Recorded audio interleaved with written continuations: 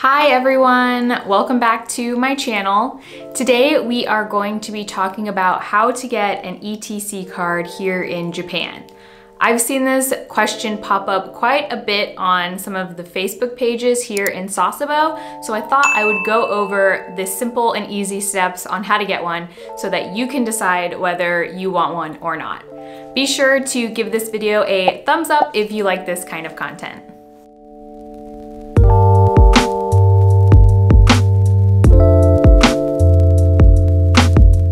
So what even is an ETC card?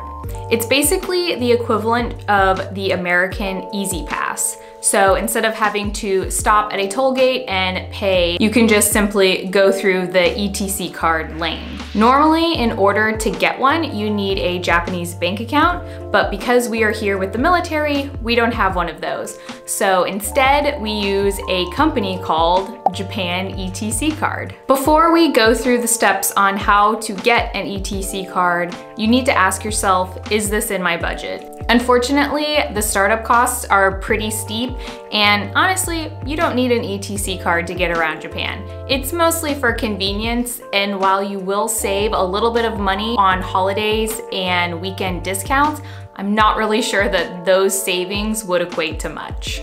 You definitely don't need an ETC card to get around Japan. With that being said, the deposit alone in order to get the card is 40,000 yen.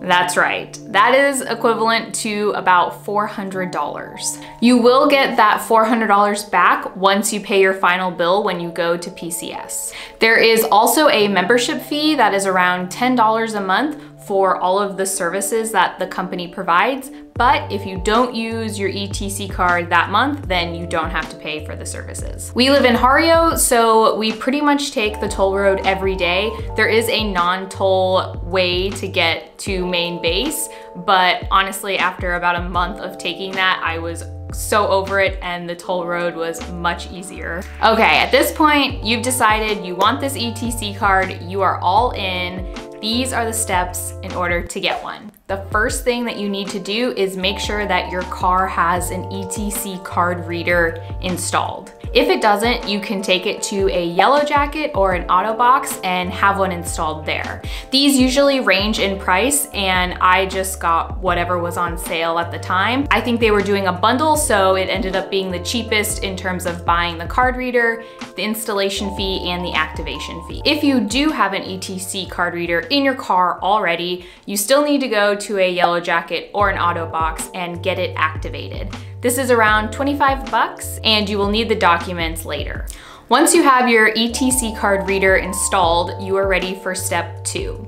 Step two is going online to japanetccard.com and signing up. From there, you will sign a user agreement and then you will need to upload your vehicle title registration as well as the ETC setup document. Once these documents are verified, then you can provide your shipping address and that is where your ETC card will be mailed to you. If you live on base, chances are you're gonna have to go meet the mail truck outside the gates, so make sure that your phone number is up to date on all of your documents. The last step is to just insert your card into your reader, make sure that it beeps green, and you are good to go explore Japan. You will be billed monthly and you can set up an auto pay with your credit card, and you can cancel everything online when you go to PCS and get that $400 back. I hope this video helped answer any questions you might have about getting an ETC card here in Japan. Like I mentioned, you definitely don't need one, but it does make things a little bit easier, especially if you're living out here in Sasebo where there are toll roads everywhere. Don't forget to like and subscribe because I post new videos every Thursday. I will see you next week. Bye.